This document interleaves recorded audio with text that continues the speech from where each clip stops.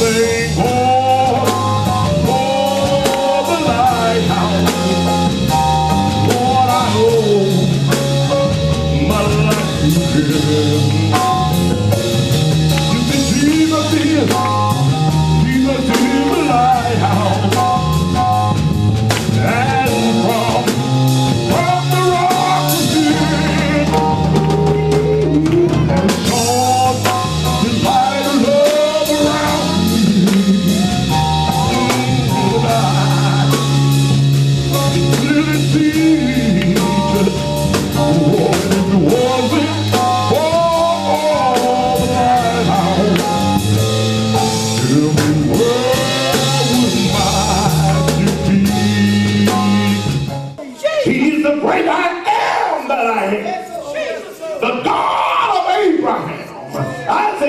Jacob. He is that great God and Savior. And the Lamb of God, the everlasting Father, the first and the last. He is definitely the beginning and the end. He's God all by himself. He said, if there be another God, I know not of it. Oh my God, he created the world and he, amen, laid the foundation of the world and he hung the earth from nothing but his word. He spoke, let there be light, and there was. Jesus, Jesus,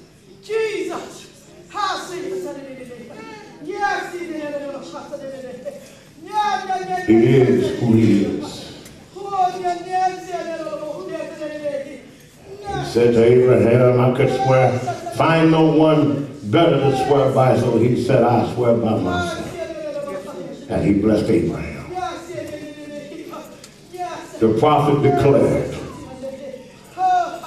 and Jesus was talking, he said, if the Christ be the Son of God, then why did David call him Lord? They didn't understand that. And then he said, no man has ascended into heaven except the one that came down from heaven. Even the Son of Man, which is in heaven, and he was on earth. But God said, I'm God and I change not. It doesn't sound ridiculous. On the cross, he said, Father, Father, thou forsaken me? And people say, if he be God, and talking to himself. While he was quoting scripture, showing that he was indeed the Christ. Because he had to fulfill every scripture that was written about him. And in the Psalms, it said that he would say it, so he said it. But now, but now, if you just want me to get down to it, if you want me to say, was he talking to himself, do you talk to yourself sometimes? Yeah, but I, I, if, you want to say who was he talking to, he was God, well then, let's say he was talking to himself while he was on earth, he was yet in heaven. But that's nothing new because I read in the prophets where it said, God said, he said, I kill. God said, and I give life. And then God said, I lift my hands to heaven and say, I live forever. Hallelujah to God. He can do what he wants to do. Anybody, amen, understand that? Church say, praise the Lord. Praise the Lord. I'm not afraid to talk to you. I want to talk about the presence that follows you. You know, a lot of times we grow up with imaginary friends. I, I had an imaginary friend, may the Spirit of the Lord continue to move. I won't be before you long, but I want you to listen. I, I, I had an imaginary friend, and this friend would appear uh,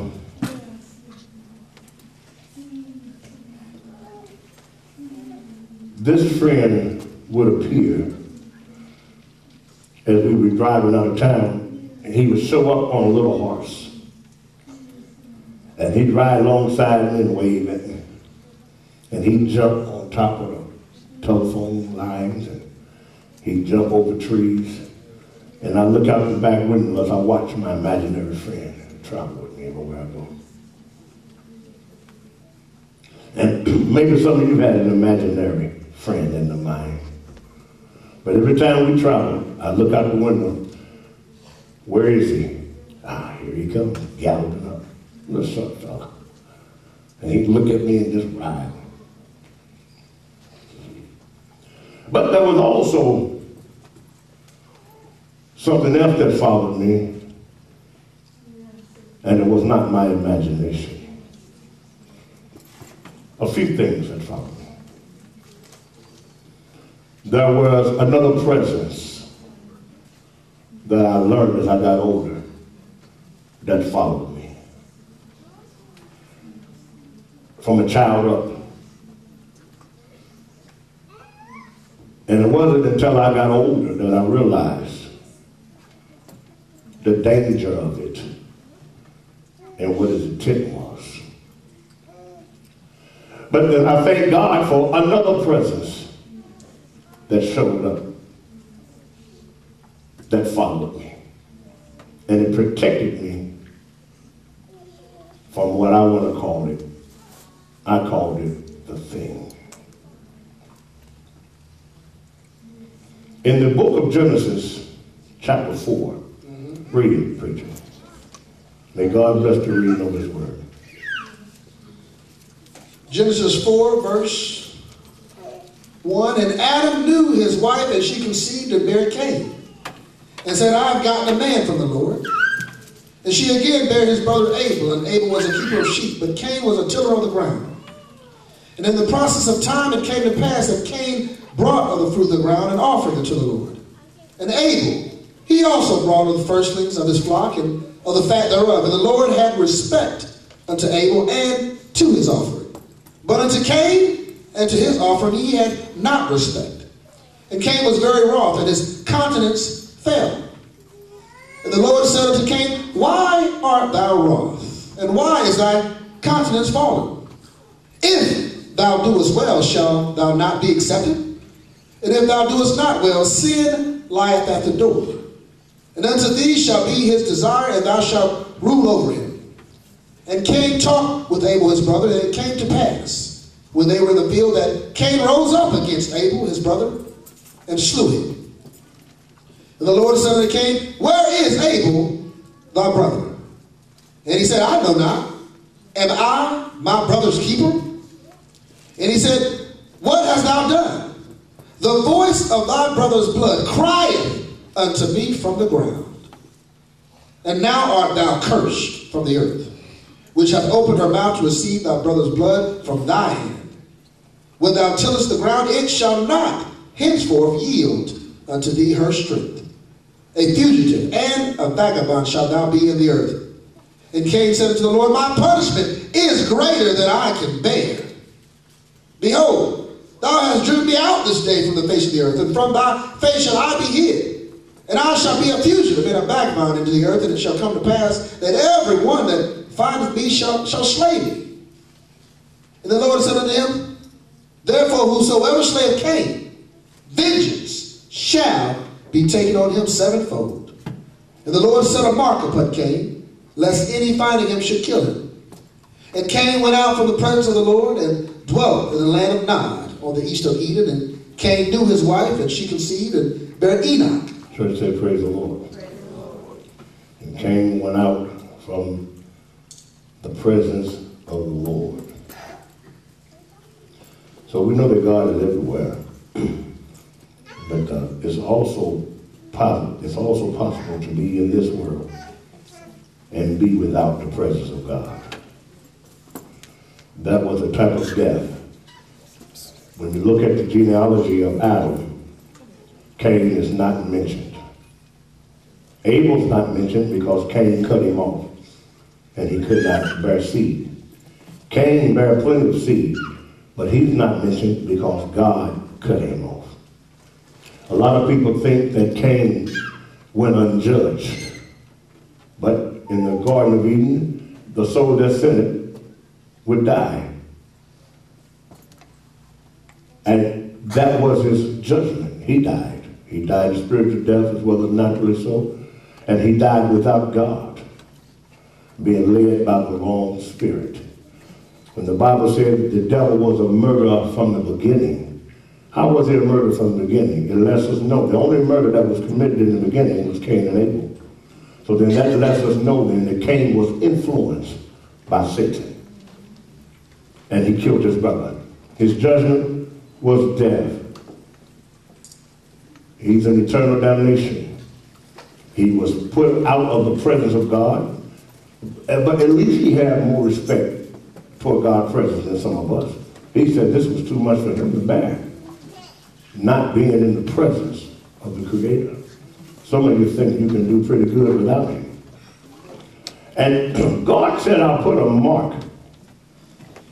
Not that He was trying to protect Cain in his guilt, but He was trying to make sure that this didn't happen again as such.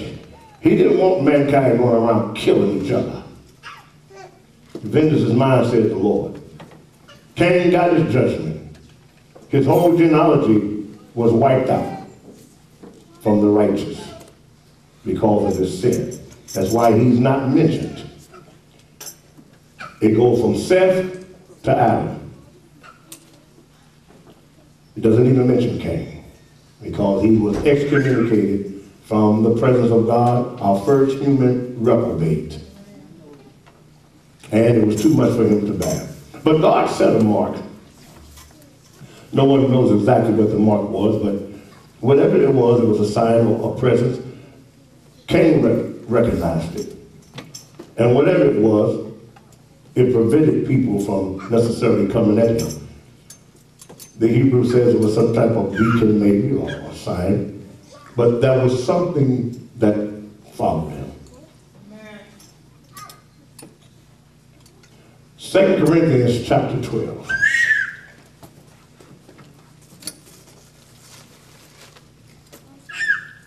There was something that followed him all the days of his life until he died. You, you know, sometimes we can see spiritually a mark or a presence of all people. And God can open our eyes that we may see it. The Jehovah's Witnesses like to teach that when Jesus rose from the dead that his body didn't rise. And it said because uh, the disciples and the women didn't recognize him. But there's a word in the scriptures called holy. They didn't recognize him because their eyes were holy. In other words, he blew up their vision so they couldn't recognize him.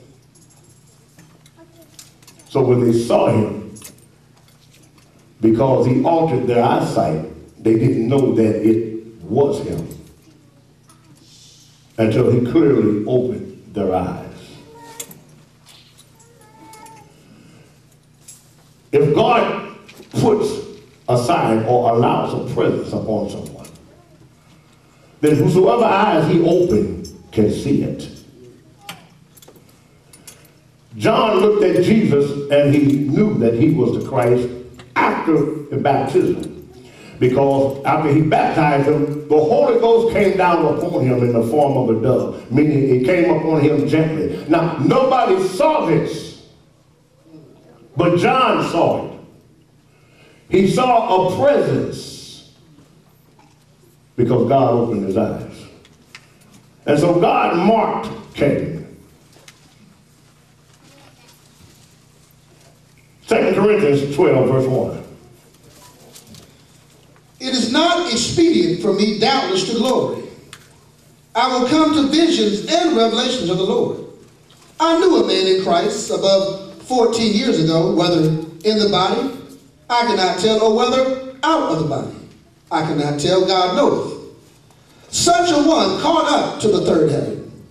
And I knew such a man, whether in the body or out of the body, I cannot tell, God knoweth, how that he was caught up into paradise and heard unspeakable words which is not lawful for a man to utter. Of such a one will I glory, yet of myself I will not glory, but in mine infirmities. For though I would desire to glory, I shall not be a fool. For I will say the truth, but now I forbear lest any man should think of me above that which he seeth me to be, or that he heareth of me. Unless I should be exalted, above measure. Through the abundance of the revelations, there was given to me a thorn in the flesh, the messenger of Satan to buffet me, lest I should be exalted above measure. For this thing I besought the Lord thrice, that it might depart from me. And he said unto me, My grace is sufficient for thee. For my strength is made perfect in weakness. Most gladly, therefore, will I rather glory in my infirmities, that the power of Christ may rest upon me. Paul said that he was taken up to the third heaven as a witness that, there, that, that he does exist. And he heard some things that were not lawful uh, to, to repeat. He received revelations and understanding. And he said to keep him from being exalted above measure. Sometimes God has to do things to keep you humble Amen. because uh, sometimes the sometimes because of the multitude of blessings or the abundance of blessings or uh, he maybe have exalted you amen and, and, and blessed you and to keep you from uh, thinking more than yourself than you are he allows things to come in to keep you balanced so that you don't forget where you come from and, and you don't forget from whom your blessings flow Yes, sir. when David wanted to build a king, build a, build a home for God, God used that technique. The prophet said, whatever you want, David, do it. But then God told the prophet, you go back and tell David, he, he can't build me a house, I'll build him one. He said, you let David know that I took him from the dunghill. I took him from cleaning up the sheep's manure and cleaning up behind the animals. And I made him king. And what, was he going to do? Remind David where he came from the sweet Psalms of Israel, very handsome young man, valiant young man, courageous young man, used to clean up behind the animals. Now look at him. But he'll be the first to tell you that the Lord is his shepherd. Because he had to learn and not forget where he comes from. And so Paul said he was, are you listening? Paul said that a presence was given to him. Uh-huh. The messenger of Satan was appointed to him to buffet him. Some theologians try to say it was lies, but no, the word buffet means to beat black and blue. He said, and I prayed three times, God, remove this prejudice. Remove this spirit. Remove this agitation. I prayed three times. Now you know when you pray sometimes you feel like your prayer just going up coming back down because you're praying the wrong prayer. Even if it's for deliverance. If you feel like it's not going anywhere, it's because you're praying the wrong prayer. I never forget when we first got put out on the street. I never saw it before. I prayed all night long. I rebuked the shaft. I rebuked everything. I rebuked the spirit. We're not going out. I prayed and prayed, God, my family's not getting put on the street. But son, my prayer went up and came down. I just went to sleep. I was praying the wrong prayer. Was it God's will for you to get put out? Yes, it was. Because from there we went to the place where we should have been. But I didn't know it then, but I knew I was praying the wrong prayer. So I had to what? Brace myself and look for the will of God. He said, I prayed three times, and God did not remove it. God said, My grace is enough. He said, Therefore, I glory in my afflictions, and in my infirmities, I give God the praise. Yes. He said, Because I know that God has allowed not a holy angel, but a messenger from Satan to come against me. What's the reason? That I may not forget where I come from. So that means everywhere Paul went, he was expecting this presence to come, to stir up trouble, to cause pain and affliction all the days of his life. And yet, in the end of it, he still said that the dragon coming, but he's got no power over me. in the end of all that, having a demon follow him his entire ministry, causing trouble for him, creating situations. He still said, I have fought the good fight of faith and I have finished my course. My God. He still said, I am persuaded that nothing can separate me from the love of Christ Jesus. I don't care what that demon stirs up. I don't care what this present, what type of problems it causes or how it arouses people to come against me. It doesn't make a difference what I go through with animals or people or, or shipwrecks or robbers or thieves. He said, I'm persuaded in the midst of an evil presence, knowing that there's a presence following me, a man that's coming against me, I can still say that greater is he that is in me than he that is in the world. He still stood. He still stood. So then that lets us know one thing, that whenever God allows you to go through something, or even when he allows the enemy to come in, it's not to destroy you. So now, we see in the beginning, God marked Cain. Some type of sign beacon upon him. And we see here, 4,000 years later, he's telling Saul, this presence is going to be with you. So now, this is the point. Are y'all listening? Amen. I'm persuaded that many of us in here, we have a presence that follows us. And it ain't always God. It's not God all the time. You ever feel a certain way, discouraged or angry or bothered? And when you think about it, there is nothing wrong. Come on, teacher now. God has just blessed you. Uh-huh. Got your bills paid, you got a blessing there. You were happy for a moment, and then you go back to this frame of thought. And you, you say to yourself, where did this come from? That- Holy Ghost speak. because there's a presence that's been following you. Been helping you think. It's been hindering you, bothering you, and troubling you for quite some time.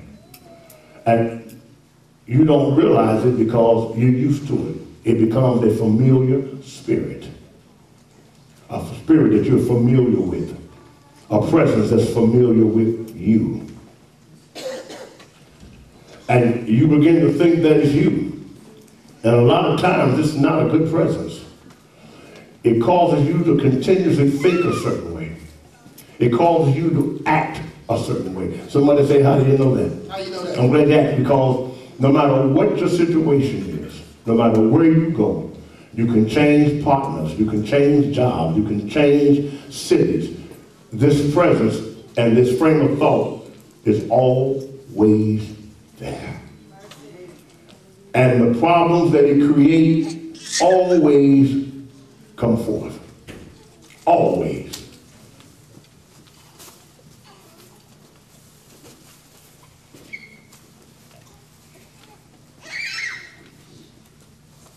And this is important because these presents, they, they affect your thinking process. They move upon your emotions and your feelings and cause you to think in certain ways. This, these spirits, many of them, have watched us from a child up. And they have seen some of the things you've been through because they caused some of it.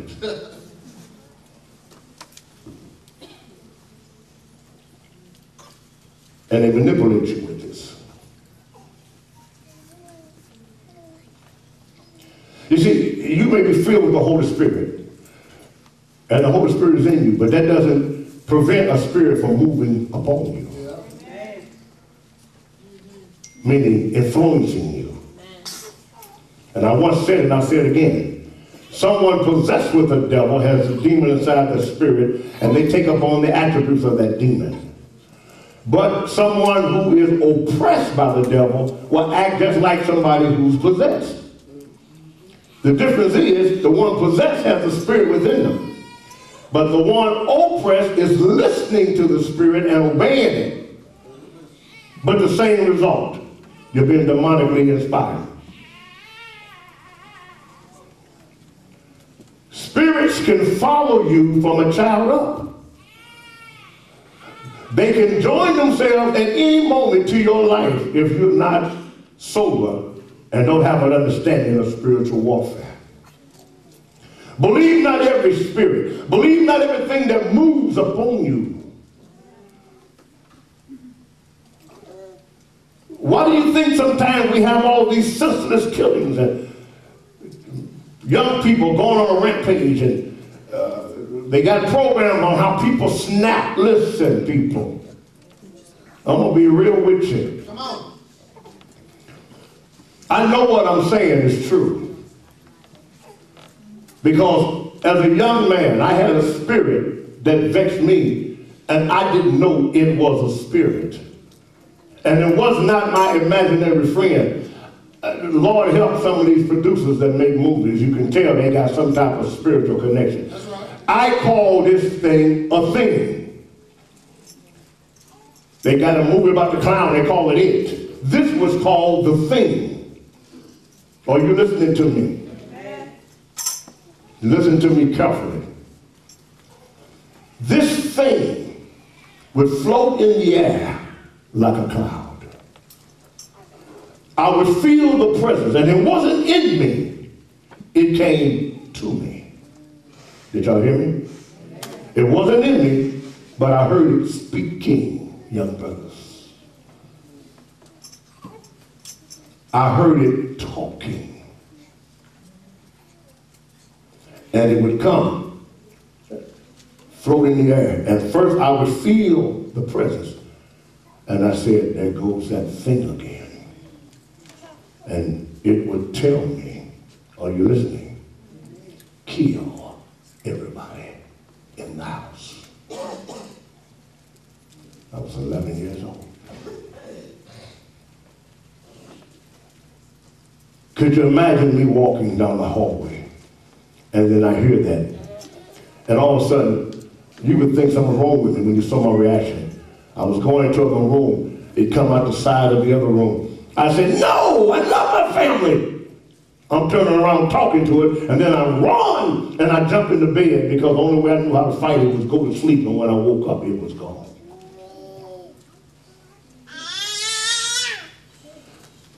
Now, back in those days, it would have been very unusual for a young black boy to go through the house on a rampage like that.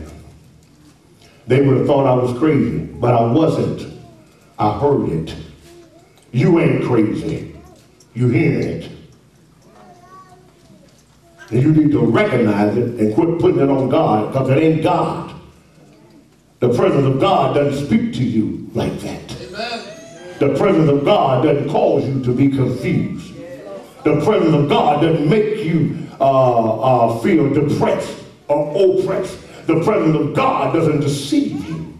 The presence of God, you hear me, leaves you with the peace. It is a comforter. It doesn't trouble you. It does not bring about accusation. It doesn't cause you to point the finger or to be bitter or angry. That's not the presence of God. It doesn't come upon you and you feel like everybody's against you.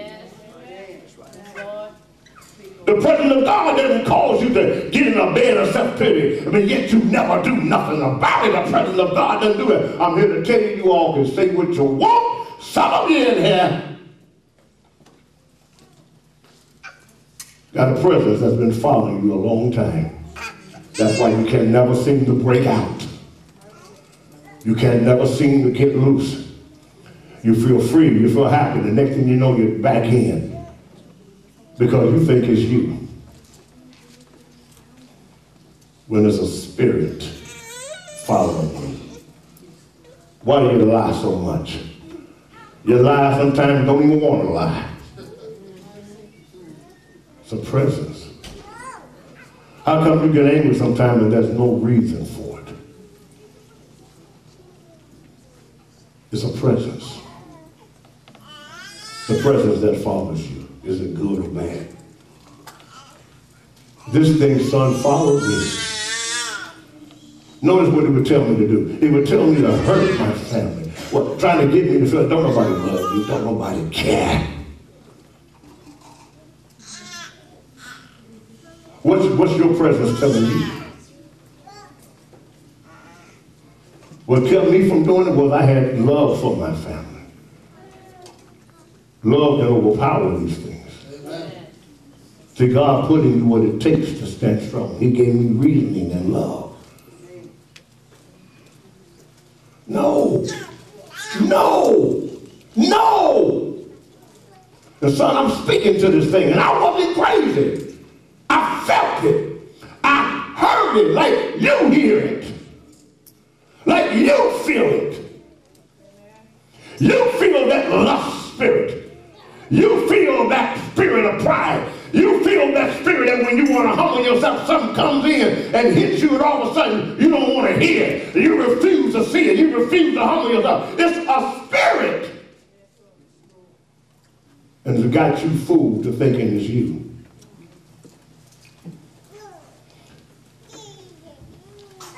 When somebody asks me, how do you know it's not you? How you know it's not you? I'm glad you asked that. Because before it moves upon you, you're feeling completely different. Everything is fine. But when that presence comes, words come out of your mouth that shouldn't, your whole thought process turns.